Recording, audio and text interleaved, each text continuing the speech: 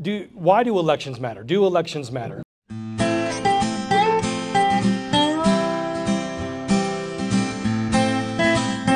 Do elections really even matter?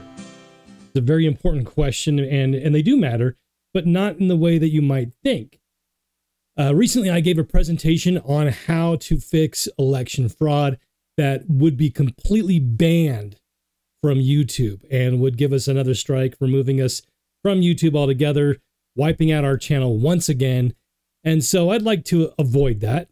And so you can watch the entire video uh, presentation on how to fix election fraud over at the Tree of Liberty Society.com. Tree of Liberty Society.com.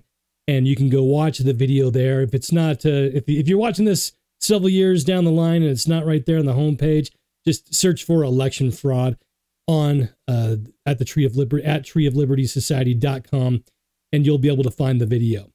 Uh, but uh, this goes into information that a a lot of it you have not seen before. But I also compile a bunch of other information that helps to paint a bigger picture.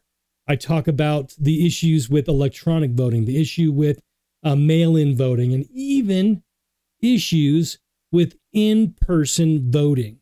I go over the history of voting in America, how things really got off the rails, and then most importantly, I talk about what we can do about it. And so again, this video, if I were to put it here, would completely uh, finish off the ban again of the Tree of Liberty Society. Um, if that ever happens, if you just remember this, check us out at the tree at treeoflibertysociety.com. Make sure that you are subscribing to our text alert list. Make sure you're subscribing to our email list. That way, whatever happens to us on the, you know, online, you'll be able to always find us. We'll be able to always reach out to you and let us know what's really going on and what you can really do about it. Um, make sure that you also become a part of the solution by joining with us over at the Tree of Liberty Society. I hope to see you there at our presentation. I hope to see you over there at the at treeoflibertysociety.com at our presentation on how to fix the election process.